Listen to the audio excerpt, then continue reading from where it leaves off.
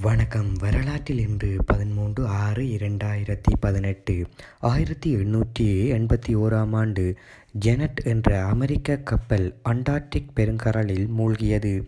ஆயிரத்தி எண்ணூற்றி எண்பத்தி ஆறாம் ஆண்டு பிரித்தானிய கொலம்பியாவில் வான்கூவர் நகரத்தின் பெரும் பகுதியில் தீயினால் சேதமடைந்தது. ஆயிரத்தி தொள்ளாயிரத்தி பதினேழாம் ஆண்டு முதலாம் உலகப் போர். லண்டன் நகரம் மீது ஜெர்மனிய போர் விமானங்கள் தாக்கியதில் நாற்பத்தி ஆறு குழந்தைகள் உட்பட நூற்றி அறுபத்தி இரண்டு பேர் கொல்லப்பட்டனர்.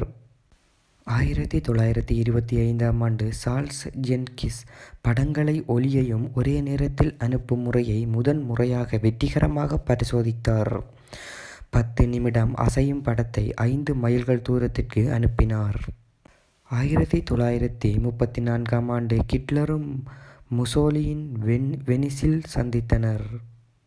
ஆயிரத்தி தொள்ளாயிரத்தி நாற்பத்தி எட்டாம் ஆண்டு ஈழத்தில் முதல் எழுத்தாளர் சங்கமமான தமிழ் இலக்கிய மறுமலர்ச்சி சங்கம் ஆரம்பிக்கப்பட்டது. இரண்டாயிரத்தி ஏழாம் ஆண்டு திருகோணமலையில் மெட்சிகோப்ஸ் என்னும் பன்னாட்டு தன்னார்வ அமைப்பின் பிலிப்பைன்ஸ் பணியாளர் ஒருவர் இலங்கை கடற்படையினரால் சுடப்பட்டார். இனி இன்று பிறந்தவர்கள். ஆயிரத்தி தொள்ளாயிரத்தி முப்பத்தி மூன்றாம் ஆண்டு யாழ்வாணன் ஈழத்து எழுத்தாளர் பிறந்தார். ஆயிரத்தி தொள்ளாயிரத்தி அறுபத்தி ஒன்பதாம் ஆண்டு சார்ல்ஸ் இங்கிலாந்தின் அணியின் துடுப்பாட்ட வீரர் பிறந்தார்.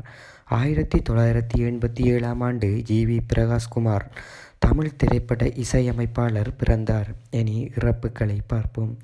ஆயிரத்தி தொள்ளாயிரத்தி எழுபத்தி ரெண்டாம் ஆண்டு கியோட் ஒன் பெக்ஸி நோபல் பரிசு பெற்றவர் இறந்தார்.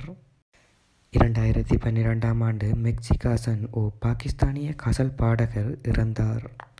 நன்றி.